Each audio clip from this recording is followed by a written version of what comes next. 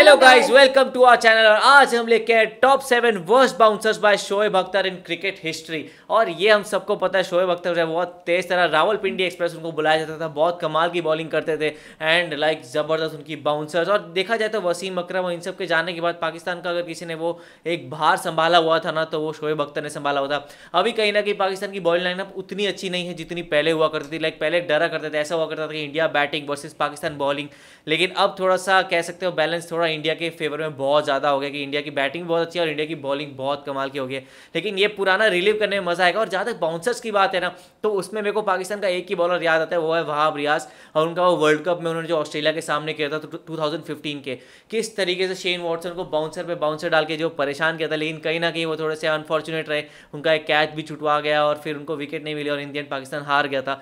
लेकिन वो बहुत कमाल का मज़ा, देखने बहुत कमाल का वो इवेंट था देखने। हाँ और जैसे तुमने कहा कि मतलब पहले ना, पहले वाले टाइम में कुछ ज़्यादा ही मज़ा आता था क्रिकेट देखने के लिए एज़ कंपेयर टू अभी के टाइम में, क्योंकि अब मुझे ऐसे लगता है कि पाकिस्तानी प्लेयर उतने ज़्यादा अच्छे नहीं है जितना शोएब अख्तर के टाइम पर थे, और उस टाइम क्रिकेट देखने का बहुत ही ज़्यादा मज़ा आता था, जब महेंद्र सिंह धोनी वगैरह होते थे। और शोएब अख्तर बहुत ही अच्छे बॉलर है, और और वो पाकिस्तानी प्लेयर है तो मतलब लिटरली जब मैं पहले उनके मैचेस देखती थी तो मुझे बहुत ज़्यादा मज़ा आता था। भाई तो बहुत मज़ा आएगा देखते हैं इस वीडियो में कौन सी ऐसी वर्स्ट बाउंसर्स दिखाई गई और कमाल की दिखाई गई बहुत सारी डाली उन्होंने। तो देखते फिर कैसा होता तो आप भी देखो हम भी देखते हैं। लेट्स स्टार्ट ओ तेरी सर फोड़ दिया। जोरदार। Sourav Ganguly. Top seven worst bouncer of Shoaib Akhtar in Azad sports ever at number seven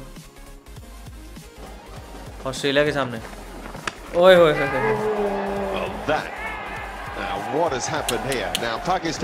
Shoaib Akhtar तो 150 किलोमीटर की स्पीड से बॉल डालते हैं। तो कोई देखे कि सर बचाए। ना आउट तो नहीं था। इनकी बॉल को देखकर तो डर ही लग जाता होगा सामने। सही में। और ऊपर से अपील मांग रहे थे आउट तो नहीं था पर ये था सर ज़रूर फूट जाता है। ऐसी बॉल देखने के बाद ना लोगों को होता है कि भाई थैंक गॉड हेलमेट है दुनिया में। एट नंबर सिक्स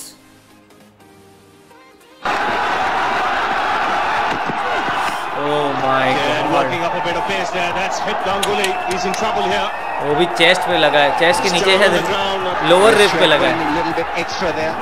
वहाँ तो वैसे कोई उंगली लगा दे तो दर्द हो जाता है। मुझे ये वाली बॉल से एक फल लगी थी तो मैं लिटरली आधे घंटे तक रो रही थी। हर कोई रोता ही है भाई इतनी ज़ोर से लगे तो। और वो भी डेढ़ सौ किलोमीटर पर नंबर फाइव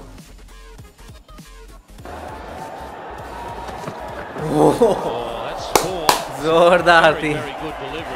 कीपर तक नहीं पकड़ पाया और रा, वो राशिद भाई जो थे वो आगे देख भी नहीं रहे। उनको पता है वो शोएब अख्तर चिल्लाएँगे। पर ये तो वैसे कीपर के दो दस फुट के कीपर होता तो भी नहीं पकड़ पाता। बहुत ऊपर से गई। ऑस्ट्रेलिया की विकेट्स भी एक तो ऐसी है पर्थ हो गई ये सब हो गई। एट नंबर फोर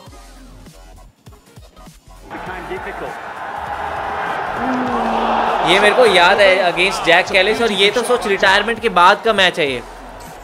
ये ऐसे फ्रेंडली मैच था और उसमें इतनी बाउंसर डाली थी। मतलब दिखाना चाहते थे कि अभी भी जान, जान है मेरे में। हाँ, पहली वाली बात है। हम्म। खास रहे थे कैसे? एट नंबर यार मुझे ऐसा लगता है पुराने प्लेयर्स की ना बात ही अलग होती है। हाँ यही था। ओ और ये जब बहुत यंग थे। वो भी मोहम्मद अजरुद्दीन के सामने। It was a quick delivery nevertheless. तेरी तो।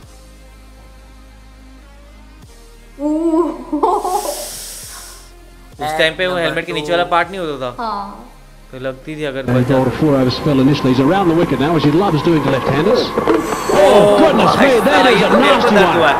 Wow, that is hitting. That is uh, very, very nice indeed. Shoaib Akhtar's down there very quickly. Mohan Khan is there as well.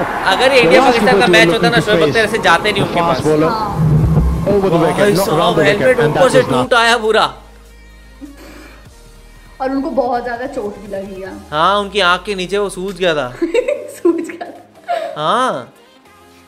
अभी दिखाया था दिखाएँगे शायद नहीं वापस। या तो खून निकला था। खून निकला था। At number one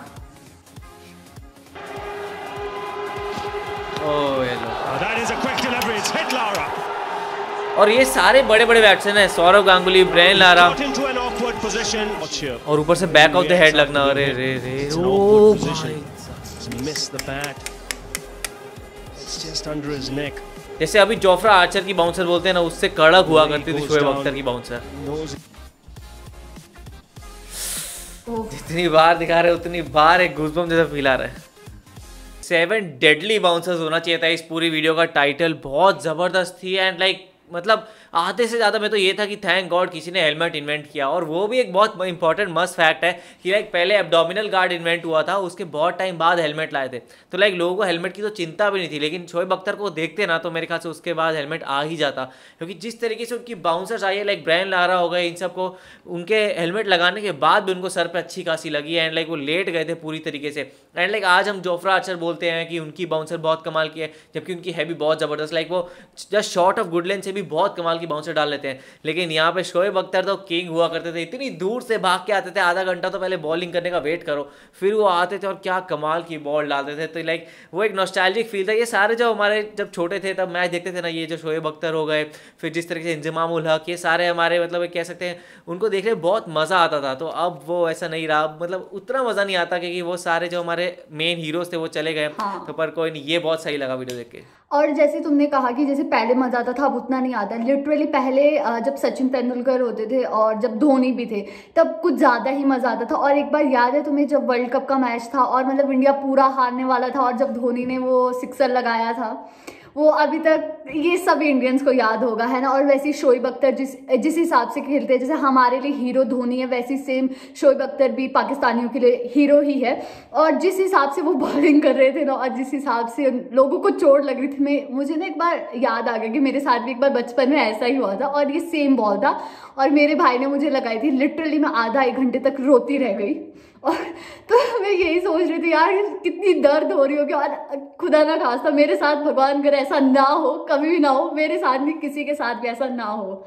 वही, बहुत सही था और ऊपर से शोएब अख्तर जो है लाइक इंडिया में उनके वैसे ही बहुत ज़्यादा फैंस है, क्योंकि जैसे उन्होंने अपना, जब अपना चैनल खोला था यूट्यूब पे तो वो वन ऑफ़ द फास्टेस्ट बन गए थे वन मिलियन तक पहुँचने को, क्योंकि उनके फ़ैन फॉलोइंग इतनी थी इंडिया में भी उनको इतना प्यार मिला, साथ में उनको पाकिस्तान की ऑडियंस मिली तो उसके बाद इतना जल्दी हो गया तो इस तरीके से उनका प्यार है यहाँ पे और लाइक वो कमाल के बॉलर थे और हमेशा रहेंगे ही रहेंगे तो बहुत सही वीडियो लगी आप लोग कैसी लगी आप कमेंट में ज़रूर बताएगा। और ऐसी कोई और इंटरेस्टिंग वीडियो तो वो भी हमें कमेंट में ज़रूर बताएगा। तो ऐसे लाइक करते जाइए कमेंट करते जाइए शेयर करते जाइए। सब्सक्राइब करते जाइए।